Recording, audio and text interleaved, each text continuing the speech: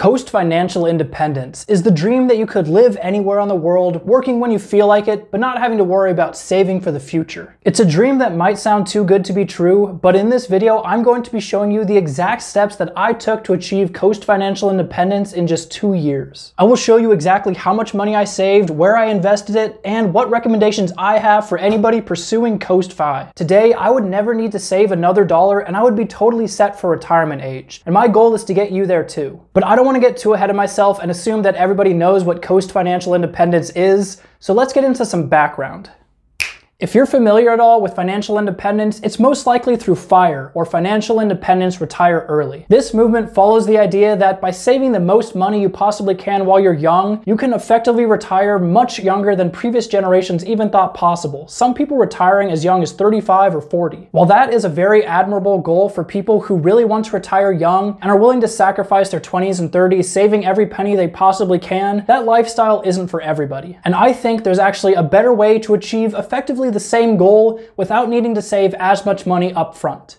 Coast Financial Independence. CoastFi or BaristaFi or Coasting Financial Independence, they all mean the same thing. But basically the idea is that you save up enough money that if you invest that money in the stock market, you will have enough money to retire on at retirement age. That means you don't have enough money saved up to retire today, but you do have enough that your financial future is secured. Now right off the bat, that can sound a little bit underwhelming until you really dive into what that means for your lifestyle. If you don't have to save for your future, you could just move somewhere with a low cost of living and work a job that just covers your basic expenses. One idea for this is moving somewhere with a beach and teaching surfing lessons all day, or traveling the world and living as a digital nomad for a couple years. The reason this movement is also called BaristaFi is because you don't have to worry about getting a high stress, high paying job once you've reached CoastFi. Instead, you can take a lower effort job which you just enjoy doing just to pay the bills. And a lot of people consider a barista to be this kind of job. The other huge advantage advantage to CoastFi is you know you are set for retirement. So you can live like a completely free soul, do whatever you want, while also knowing that your future is financially secure. Finally, by doing CoastFi rather than financial independence, retire early, you can avoid one of the biggest pitfalls that people encounter when they retire early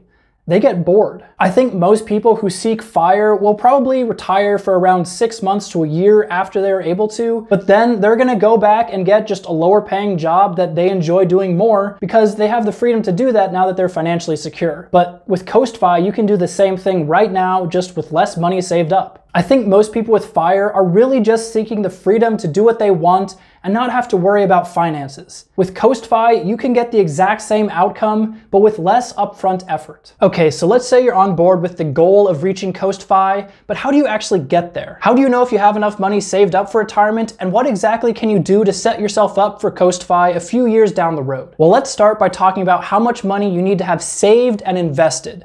And that second part is the key here because you need to invest your money. So let's figure this out by looking at a compound interest calculator. The first thing you'll need to do is determine how much your expenses are each month. This is going to determine how much money you need in retirement. Now, as much as this may pain some people to hear, this means that you need to track your expenses and have a written budget so you know how much money you're spending every month and you can forecast how much you'll need in retirement. Once you have this number, and just for an example, we'll say it's $50,000 a year, you can start plugging in some numbers to a compound interest calculator. There's a rule of thumb in personal finance called the 4% 4% rule, which says that whatever money you have invested for retirement, you can withdraw 4% of that every single year without depleting your retirement account because your investments are earning income over time. So this means if we take our $50,000 a year in expenses and divide that by 4%, we're left with $1.25 million. That is how much money we need actively invested in the stock market in order to pull off $50,000 every year without running out of money and accounting for inflation. Now, yes, that is a lot of money to save up, but I can assure you I do not have $1.25 million lying around, and yet I have reached Coast Financial Independence. The key is we don't need over a million dollars right now. We need it at the age that we're gonna retire, for most people around age 65. So let's just use my own personal numbers to help illustrate this point. Like I said earlier, the first step to understanding where you stand on your CoastFi journey is to track your expenses. You can use an app for this like Mint or You Need a Budget, which will automatically track all your transactions by linking them to a bank account or a credit card, but I personally just track the transactions manually using an app called EveryDollar. By tracking my expenses each month, I can see exactly how much money I'll have left over to put toward retirement, as well as how much I'll need in retirement to cover my eventual expenses. Now, I do this particular tracking in an Excel spreadsheet but you could also use an app like Personal Capital to do it for you. So I started tracking my expenses diligently back in June of 2019. So let's look at that spreadsheet and how it walked me through my journey to achieving Coast financial independence. So it all starts with a budget, and this is my budget right here. You can see here in green, I have my income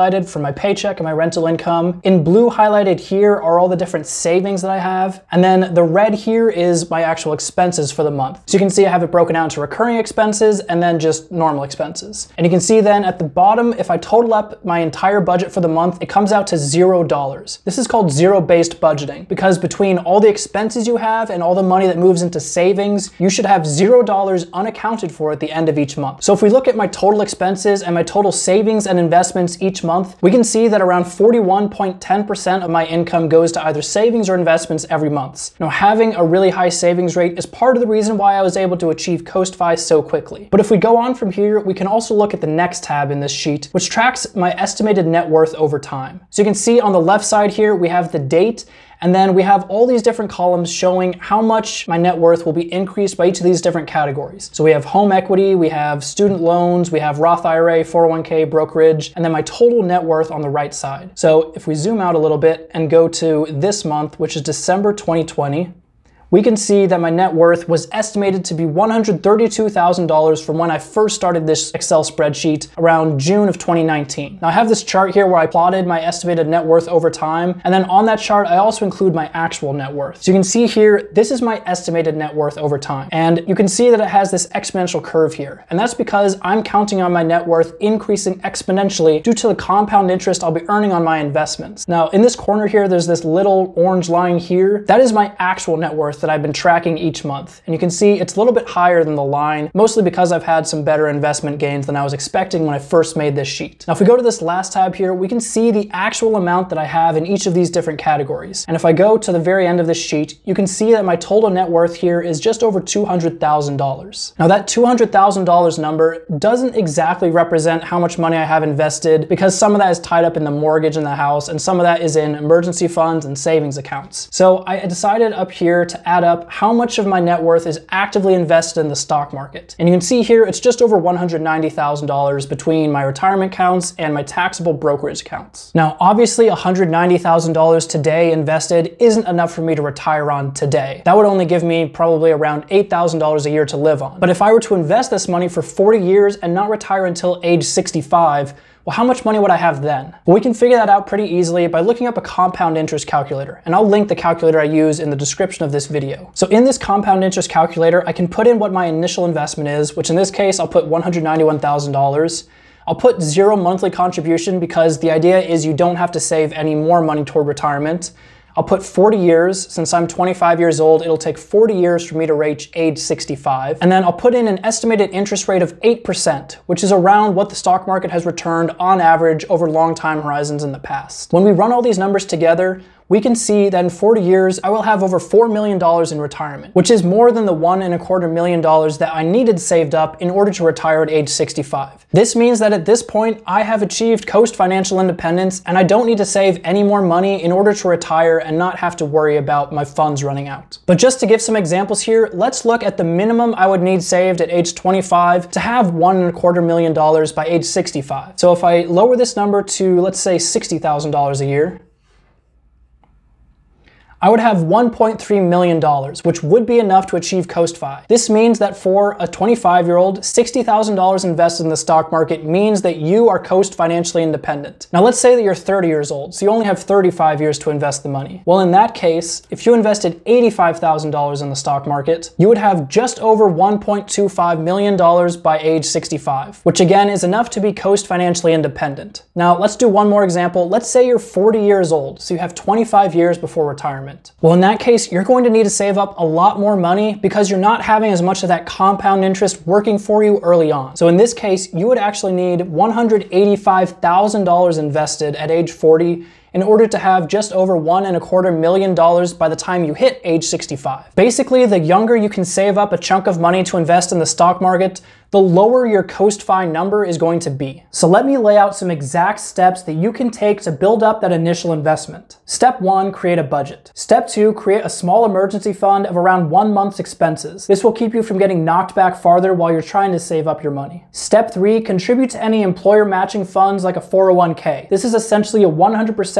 guaranteed return on investment. Step four, pay off any high interest debt that charges over 4% a year. You're gonna be withdrawing 4% from your retirement accounts each year. So if you're paying that same amount in debt, you're essentially losing out by investing that money instead. Step five, build up your emergency fund to three to six months of expenses. This money is not gonna be invested, it's gonna be in a safer savings account where you can rely on it if something comes up that's unexpected in your life. Step six is to max out your Roth IRA contributions with $6,000 per year. A Roth IRA is basically the most flexible form of retirement account, so it's what I would recommend if you're young and you want your money to build up as much as possible over time. Step seven, put your remaining money into maxing out any other tax advantaged accounts that are available to you. This could be a 401k or an HSA or whatever accounts you have access to. Step 8A, if you can, look into doing a mega backdoor Roth IRA. Not every company will allow their employees to do it, but if you have access to it, it can be a good way to save up a lot of extra money. And then step 8B, invest the remaining portion of your money into some kind of investment like real estate or stocks. Although I will say, if your goal is to reach Coast-Fi and travel the world, real estate might tie you down a little bit, so putting your money into an ETF might make more sense for you. Following these steps will help you build up a nest egg as quickly as possible, which you can then start getting it invested into the market. By reaching Coast financial independence, I no longer have to worry about saving for retirement if I don't want to. Even if you don't decide to pack up your life and go live on a beach and teach surfing lessons for the next 40 years, I think just having the freedom of knowing that you could pack up everything and leave without sacrificing your future financially is the most valuable part of Coast financial independence to me. But let me know what you think about Coast versus FIRE. Also, go ahead and run these numbers yourself on the compound interest calculator I linked in the description, and let me know how close you are to achieving Coast-Fi, or maybe what age you already achieved it at. With that said, I hope you enjoyed this video. If you did, make sure to leave a like,